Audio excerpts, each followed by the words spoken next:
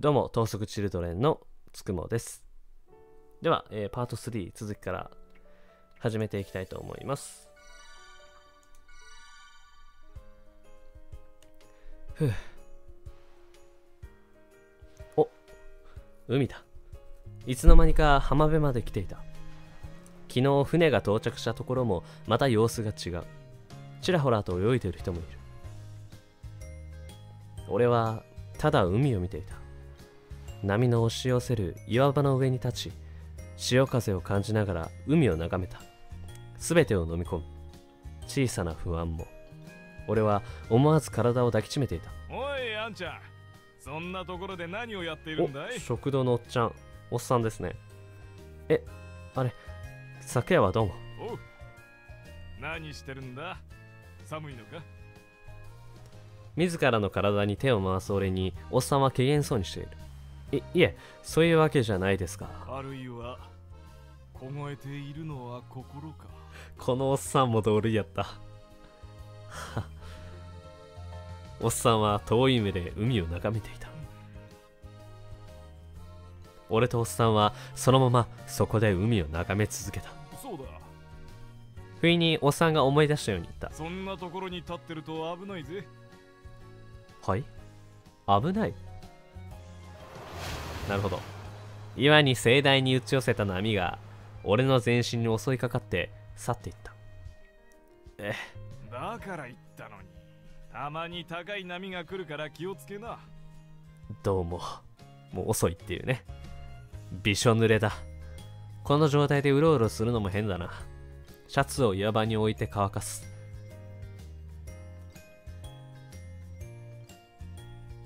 日差しはだんだんと強くなっていく。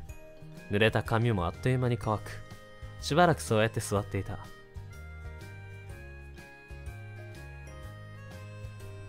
行くか。あれ？俺のシャツは？風に吹かれて飛んでった？濡れているのに？イエーイ！うわガキンチョ出ましたよ。隊長隠された財宝変な柄の T シャツを発見しました。持ち帰って鑑定だ。イエーイ木の棒の先に俺の T シャツを引っ掛けたガキどもがはしゃいでいた。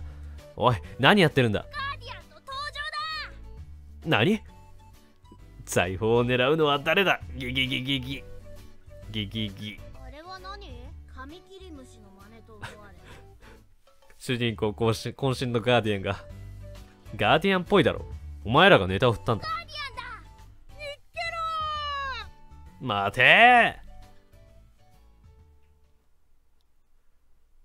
主人公もね付き合ってあげるっていう。待たなかった。いや待たなかったんかい。待ってくれなかったんかい。はあ、はあ、持ち去られたじゃねえか俺のシャツ。一旦家に帰るとしよう。株にまたがる。上半身裸でバイクというのもなんというかワイルドだった。いやただの変態。あれ？エンジンがかからない。故障？ガソリンはあるみたいだけどしょうがない。押していこう。半裸でバイクを押す男というのはワイルドなのか何なのか。なんでしょう。裸でうろつくのはどうかと思ったがそもそもあんまり人とすれ違わない。街じゃ考えられないな。とぼとぼと株を押して歩いていると向こうで上半身裸の男がベンチに座ってアイスを食っていた。うわ同類この島に来て初めて見た同年代の男子だ。向こうもこちらに気づいたらしい。海の近くならともかく住宅街を裸でいるのはさすがにちょっと変な感じだな。は我が身を試みた。帰り見た、俺もだった。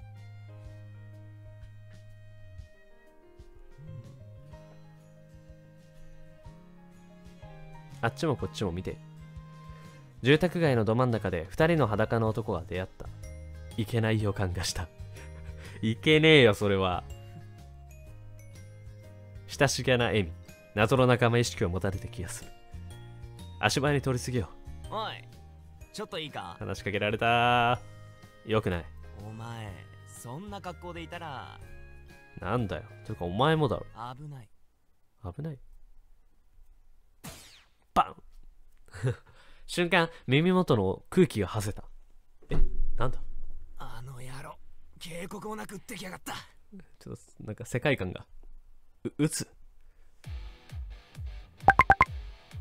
そこの露出鏡海水浴場以外で服を脱ぐのは禁止されている。速やかに服を着て出頭しなさい。頭上にそびえる鉄塔その頭上には四方に向かって拡声器が取り付けられており声はそこから聞こえてくる。島内放送。ヒュンと目の前の空気が裂ける。さらに狙撃されているようだ。な何が起こっているんだ？裸狩りだ。裸狩り。裸狩りだと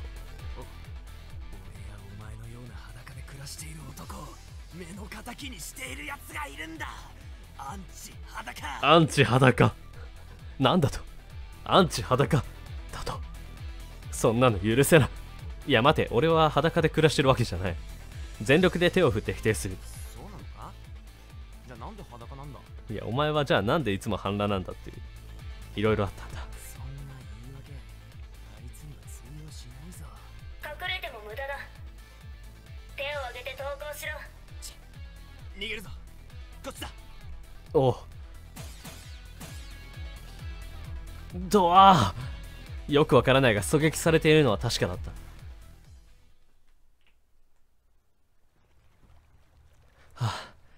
ここまで来れば大丈夫だ。あやばいやばい。半裸の男が2人見つめ合ってますよ。大丈夫なのか？謎の半裸男とこんな人人気のないところで2人きりになるくらいなら撃たれた方が良かったのでは？お前誰だ？高原入り知らないな。そりゃそうだろおっと。と破裂音とともに男がうめきを上げて崩れ落ちた。撃たれた。お前いつの間に？見れば仰々しいライフルを構えた小さな少女が近づいてくるところだった。あれが鉄塔の上から叫んでいた女の子。あそこからなら全部丸見えだ。さて変態ども。往来で何をしている？仁王立ちの小さな少女。まあ確かにね。ただの変態っすもんね。制服さえ着ていなければ島の子供と間違えそうな身長だけど手にしたものがその印象を裏切っている。ライフ。死ね。ままままままま待て。やられた。こんなところで俺が。この俺が。なああいつが来たら伝えてくれ急になんか始まりましたね。あいつ？三谷良一は最後まで勇敢だったと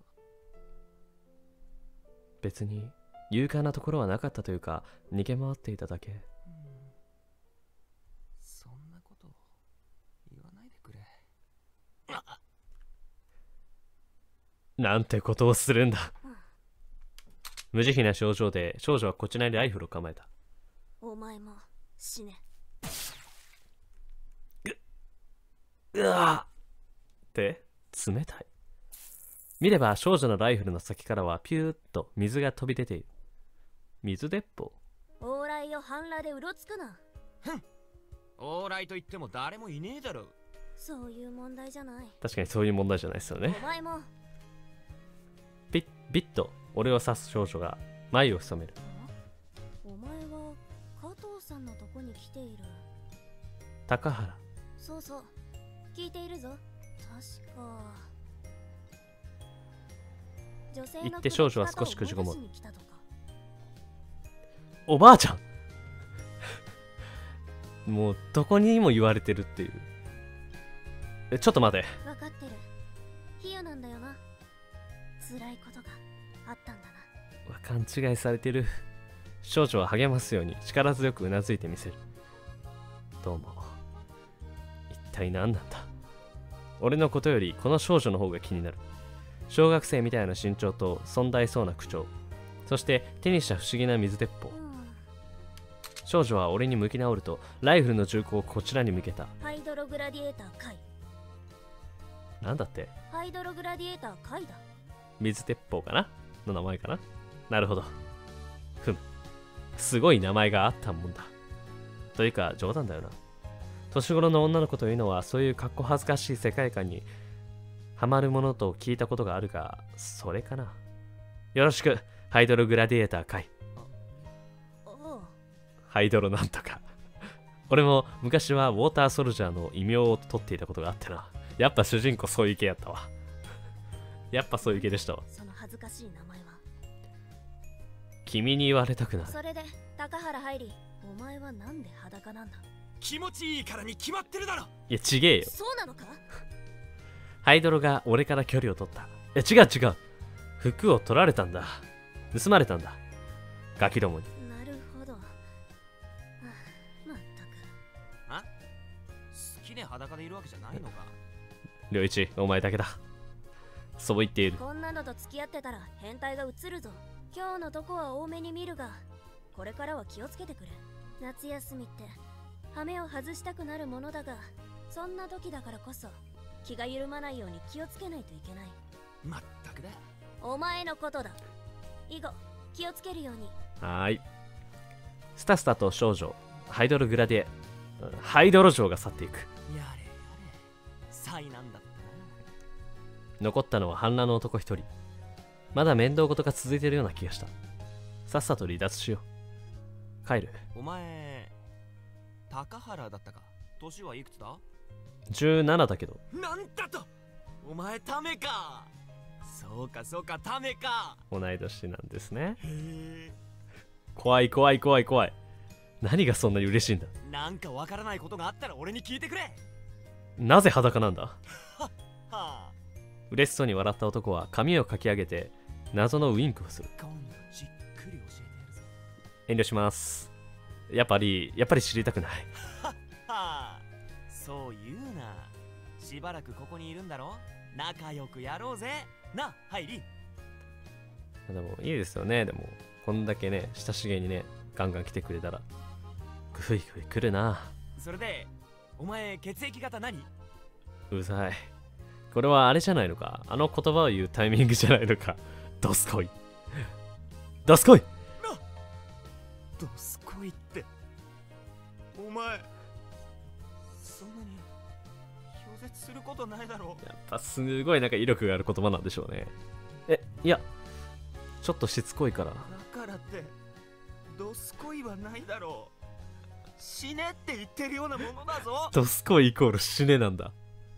えあすまん。ドスコイは言い過ぎた持ち帰るって。ドスコイって。そんなにきつい表現なのか。あの少女どれだけ俺を嫌がってたんだ。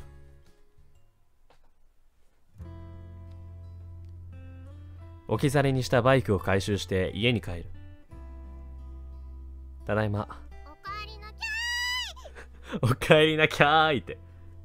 なんで顔を隠す？そういうそっちはなんで体を晒してるんですか？なるほど。まだ上半身裸だったね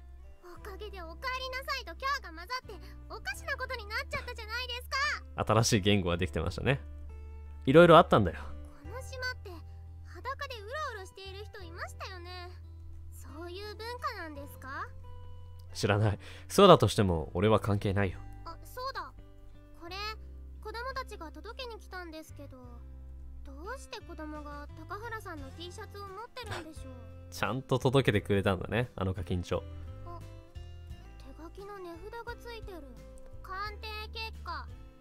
円。安っ。何の嫌がらせだ。あと荷物届いてましたよ。宅配の人が部屋まで運んでくれてます。親切ですね。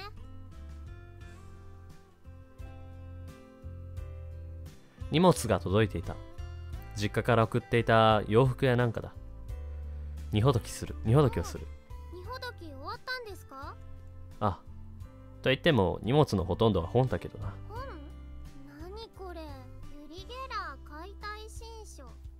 んな本読んでるんですか？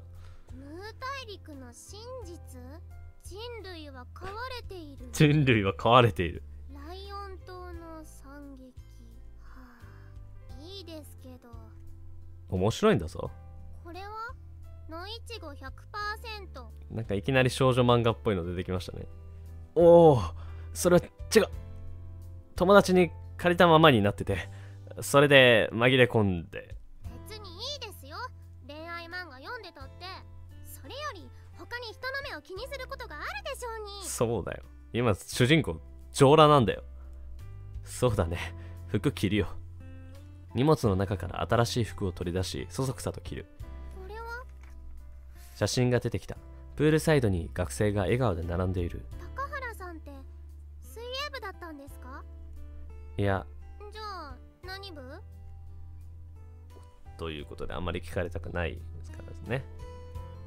ここはっと主人公のユーモアで切り抜けましょうか、えー、カイパン部で。カイパン部だ。そんなものないです。知らないのか？あるわけがないです。世間知らずめみたいに笑ったって信じないですよ。それならそれでいいさ。将来カイパン部に入ることになった時に困っても知らないけどな。ないですっ 京子さんに聞いてみればいい。ないに決まってます。ちょっと不安になってきましたね。しかし不安になったのか京子さんがいる居間へ聞きに行く。すごい反応に困られた。そりゃそうでしょうね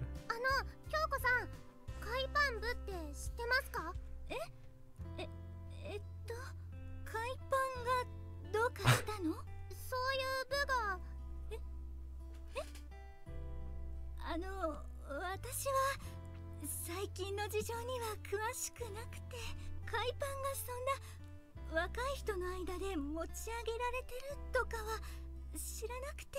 ごめんなさい。やつのせいです。嘘だと気づきましたね。で水泳部さんは部活はどうしてるんですか？違うって言ってるだろ。夏休み活動ないんですか？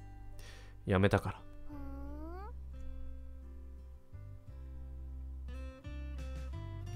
台所では海ちゃんが忙しそうに駆け回っていた。何か手伝おうか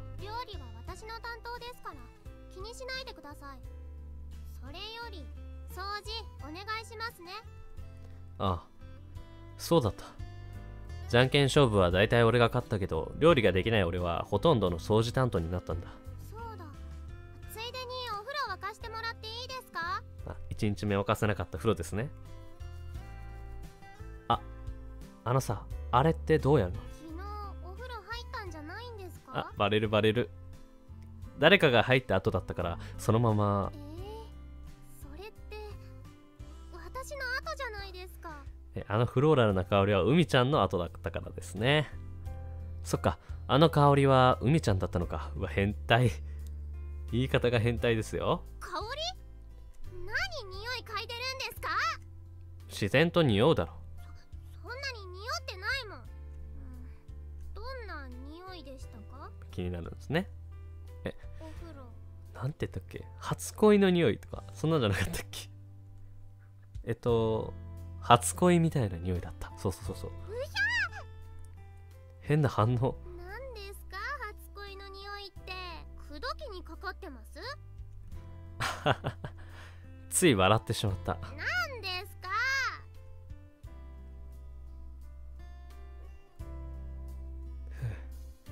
？2日目の夜だ。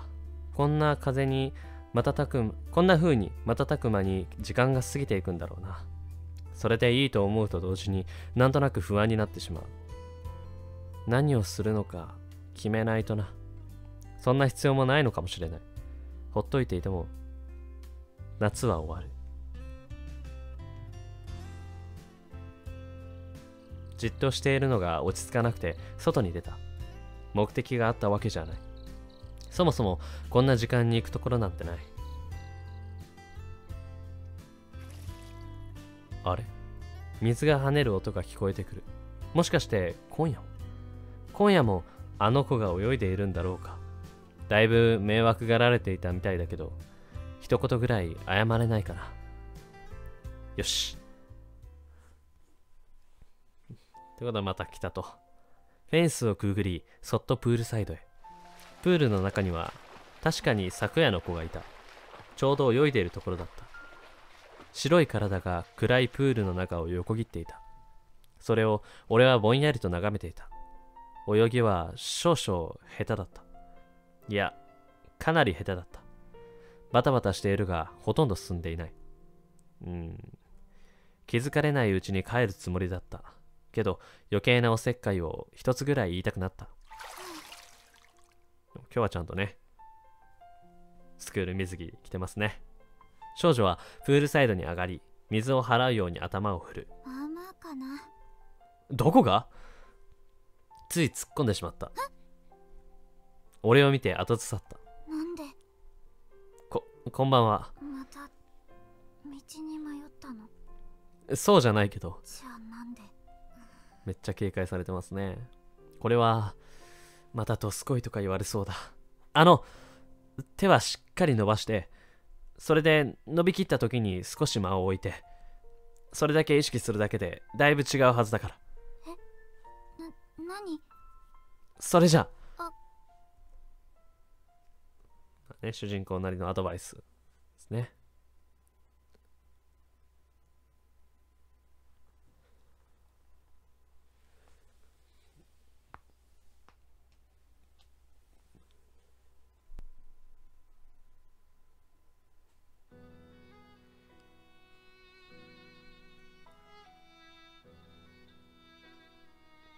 おはようというところで今回ちょっと短めですけど、えーパート3ここで終わらせていただきたいと思います。